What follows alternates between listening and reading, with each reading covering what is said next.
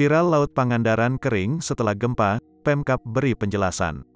Viral di media sosial sebuah video yang memperlihatkan dan kondisi air laut di Pangandaran yang kering. Video tersebut viral di akun TikTok milik @arjuna89 dan sudah mendapatkan followers sebanyak 44.000.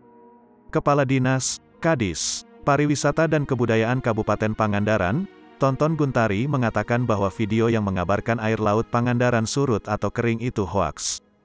Di Pangandaran, kalau ada gempa selalu begitu, infonya bikin hoaks.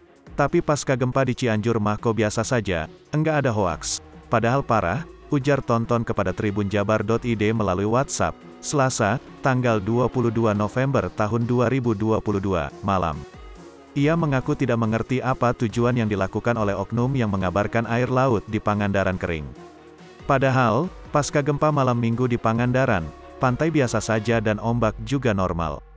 Ini mah, ada oknum yang memperkeruh suasana, katanya. Selain itu, ia menduga kabar hoaks tersebut dilakukan hanya ingin meningkatkan followers pada akunnya.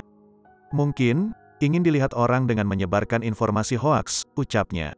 Karena, katanya, kabar hoaks tersebut sudah beredar yang tentu berdampak merugikan aktivitas wisata di Kabupaten Pangandaran.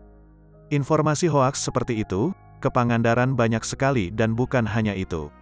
Iya, jelas banyak masyarakat atau calon pengunjung yang merasa dibohongi, kata Tonton.